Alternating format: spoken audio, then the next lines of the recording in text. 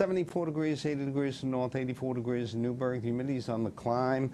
And uh, a shot of shower is still not out of the question. Now, we got into it and we got out of it. That was the deal very quickly. Now it's 446 or so.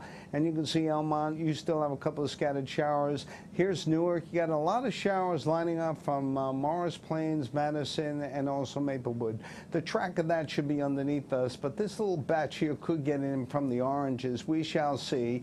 You see the flow of air is beginning to push everything to the south. Not out of the question the city gets a pop and a shot of a shower or two. And then you see the clearing developing here. This is the good frontal boundary, which will press and continue to come down to the south and east. And today at 6, you can see everything pressing again from the northwest to the south and east. That's good clearing.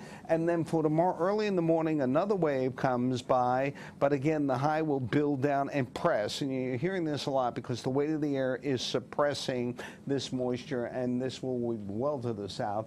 And tomorrow's going to be a pretty good looking day, late morning on to the afternoon, and Sunday's the pick of the weekend. Just gorgeous as the high settles in right on top of the tri state area. Is it a beach day? Yes. Clouds out there early, sun in the afternoon, the UV index very high at 8. Uh, you can see again the wave heights at 2 to 3 feet, and the rip current will be moderate.